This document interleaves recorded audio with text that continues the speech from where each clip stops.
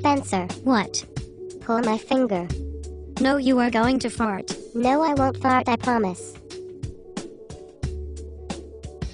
Please.